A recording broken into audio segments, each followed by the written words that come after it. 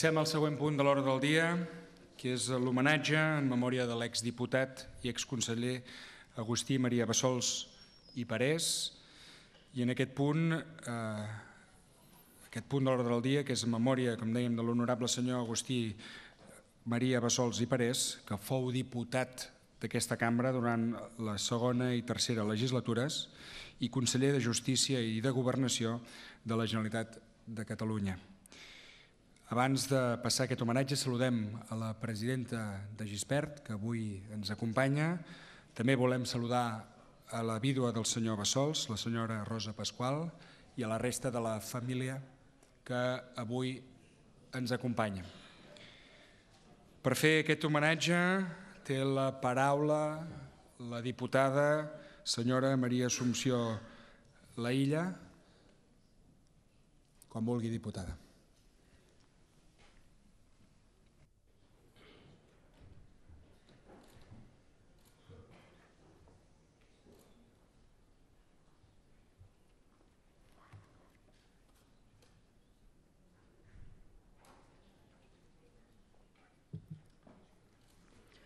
Molt honorable president del Parlament, molt honorable president de la Generalitat, honorables consellers i conselleres, molt honorable presidenta de Gispert, il·lustres diputats i diputades, família de l'honorable conseller Bassols, vicepresident d'Òmnium Cultural, amics i amigues.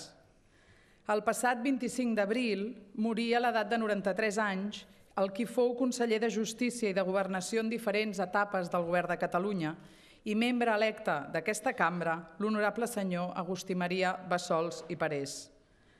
L'Agustí va néixer a Barcelona el 17 de juny de 1924. De ben petit ja va saber què era la por, la foscor, la presó, les bombes.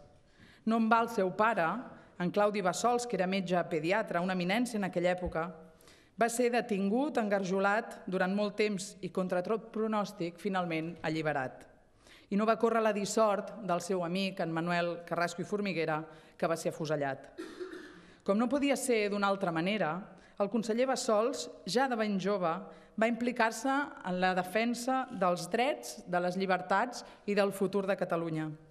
Però també de ben jove va saber quina seria la seva vocació. Als set anys ja tenia clar que volia ser advocat, professió que va marcar-lo i acompanyar-lo tota la vida.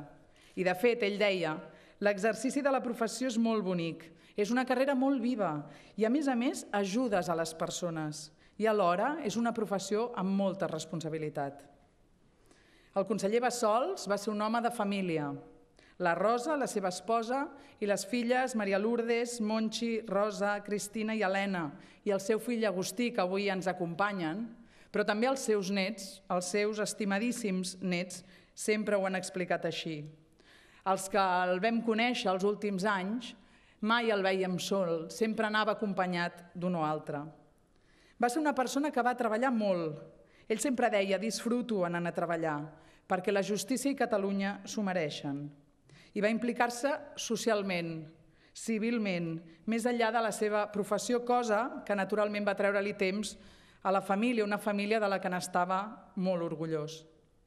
Aquells que el, vam, que el van conèixer en l'exercici de la seva professió el consideren un mestre, una persona de profundes conviccions, una persona de paraula, un home de dret, un ciutadà responsable i conseqüent. Des d'aquest àmbit, des d'aquesta perspectiva, sempre defensar el dret i la justícia. I, de fet, una de les seves grans herències que ens deixa és en el món del dret, i és la seva implicació i visió a l'hora d'aprofundir i impulsar la codificació del nostre dret civil. El seu paper va ser clau, sobretot, a la culminació del Codi de Successions de la, de la codificació deia que codificar al capdavall no és més que legislar amb un criteri unitari i sistemàtic respecte de tota una branca determinada del dret. I afegia, és el recull d'un dret preexistent degudament esporgat, ordenat i amb aquelles innovacions que el mateix ús i la utilització d'aquell dret han fet imprescindibles.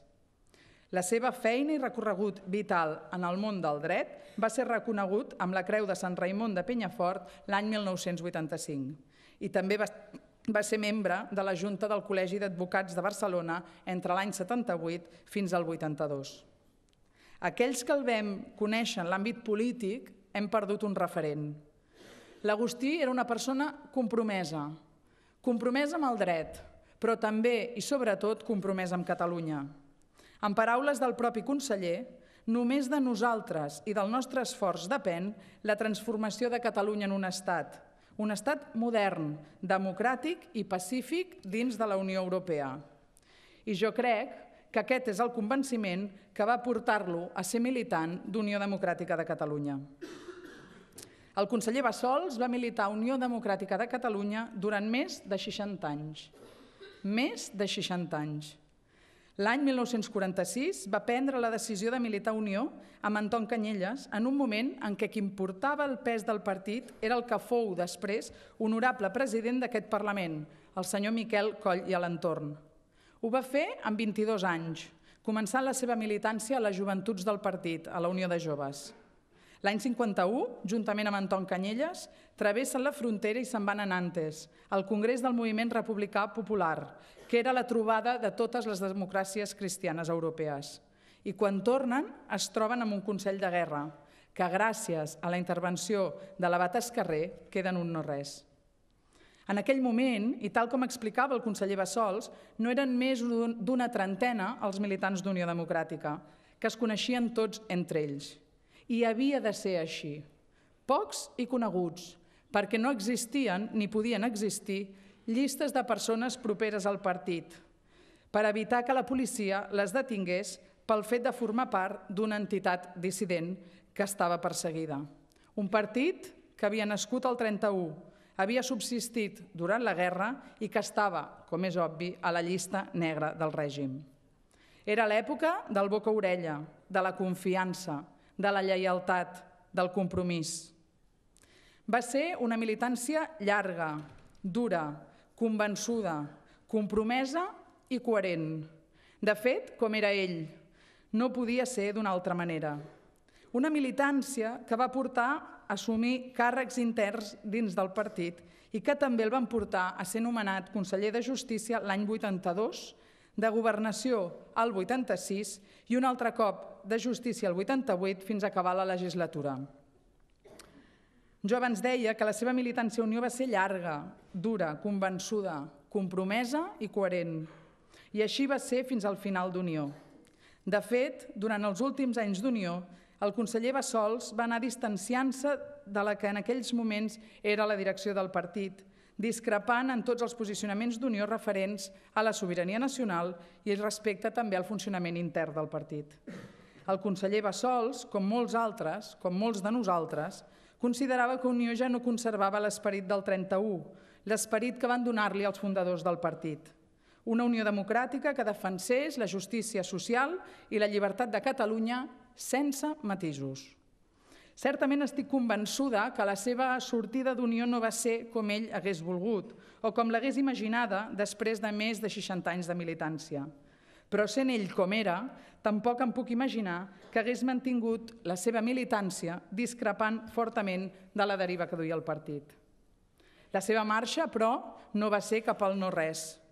L'any 2015, ja amb 91 anys, es posa al capdavant de Demòcrates de Catalunya, partit que recull, com saben, els principis de justícia social i és netament independentista, essent-ne un dels fundadors i del qual va ser voluntari demòcrata fins la seva mort. El compromís amb el país, però, no només l'exerceix des de l'àmbit polític, sinó també i paral·lelament des de la vessant civil. El conseller Bassols va ser l'advocat que legalitzà Òmnium Cultural quan aquesta va fundar-se amb l'objectiu de promoure la llengua i la cultura catalanes, l'educació, la cohesió social i la defensa dels drets nacionals de Catalunya. I, de fet, va ser membre de la Junta d'Òmnium entre els anys 67 i 77. També, el 2009, havia fundat l'associació Sobirania i Justícia, que vol promoure la independència de Catalunya, tot sensibilitzant la societat catalana sobre la necessitat i la viabilitat del seu assoliment per vies pacífiques i democràtiques. Va ser-ne president durant dos anys i va passar-li el relleu al senyor Quim Torra, ara president de la Generalitat. I molt abans també ja va ser vicepresident del Comitè Executiu del Congrés de Cultura Catalana entre els anys 75 i 77. I, de fet, també, com no podia ser d'una altra manera, el 2010, en reconeixement a la seva trajectòria, va rebre la Creu de Sant Jordi. El conseller Bassols és una de tantes persones imprescindibles per conèixer i entendre Catalunya, per explicar-nos i explicar el nostre país. Ja el 2011 deia Catalunya, com totes les nacions, gaudeix del dret a decidir i decidirà. La seva vida és una mica la història de tots. Foscor i llum, esforç i compromís, passat i futur. L'Agustí va ser un militant de la paraula, va ser un militant del dret, de la democràcia, militant contra la injustícia i contra l'opressió. Militant de Catalunya, de la seva a la nostra independència. Com deia ell, la independència de Catalunya és una exigència de justícia.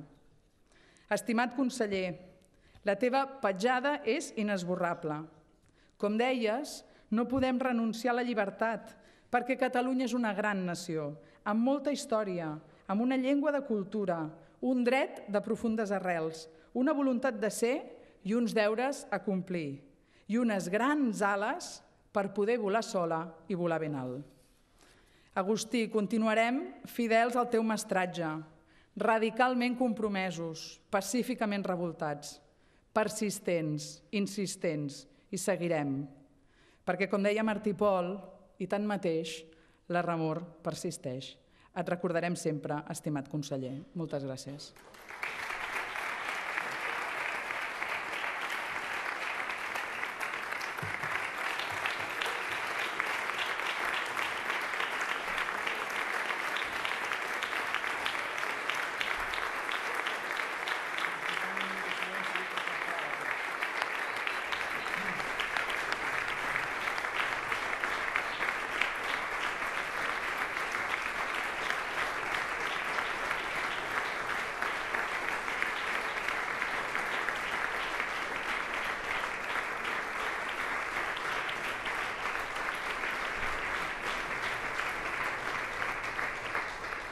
Gràcies, diputada. A la, a la família i amics que avui ens acompanya, els prego que acceptin el nostre més sincer sentiment d'amistat i de condol que avui manifesta el Parlament de Catalunya i a tots els diputats i diputades els convido a guardar un minut de silenci en la memòria del senyor de l'honorable senyor Agustí Maria Besols i Parés.